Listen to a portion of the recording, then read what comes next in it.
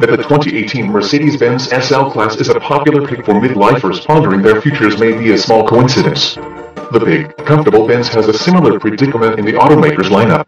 The newest AMG GT does superlative speed more competently. The new S-Class coupes and convertibles do cruising nearly better than the SL Class. For now, the SL Class is a two-door hardtop convertible with big engines and bigger price tags. Base SL 450 models start at nearly $90,000 and can easily reach into six figures with a V6.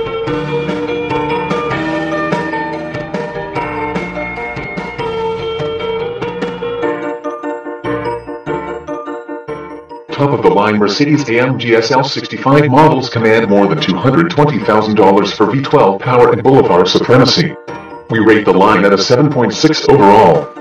The SL range has largely carried over from last year, aside from a rear-view camera made standard on base SL 450 models. Heads note, they should have been standard last year, anyway. The SL class marries a roadster shape to a first-class cabin and brisk powertrains. The base model, which will be the most popular, is a twin-turbo V6 that makes 362 horsepower and can sprint up to 60 miles per hour in less than 5 seconds.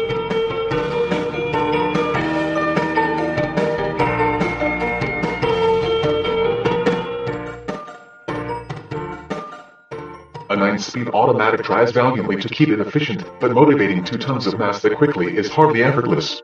It's more than enough speed for the SL's primary goal, being a comfortable cruiser, but it's hardly mellifluous. We also have a philosophical hurdle to clear regarding these six engines and six-figure price tags. See, GTR, Nissan. The SL550 subs in a sonorous 449 horsepower V8 for an astounding $20,000 more. From there the performance and prices only get sillier. The Mercedes-AMG SL 63 slaps two turbos on a 5.5-liter V8 for 577 horsepower and more than $150,000 to start.